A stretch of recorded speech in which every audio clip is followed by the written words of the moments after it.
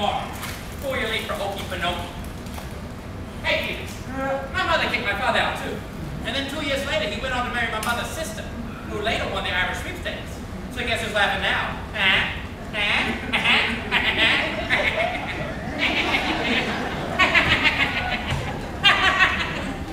Don't let him check that story.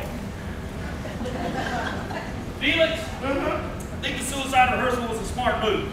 Now it's out of the way. Give me a tuna salad sandwich with a Italian coleslaw inside. Hey, Felix. Yeah. I had an uncle whose wife left him. Well, but he died of other things. Tie his hands and his feet to the bed. You know, he could have a box of milk duds in his pocket. A big old one of these a choke man.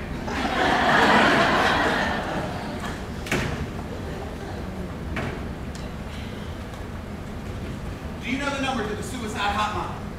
I'll get it from Felix. He's got an account there.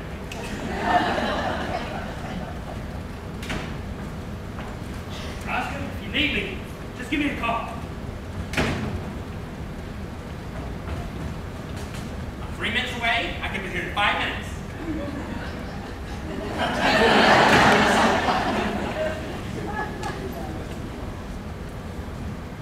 If you need me, I'm gonna be at the Del Castro Hotel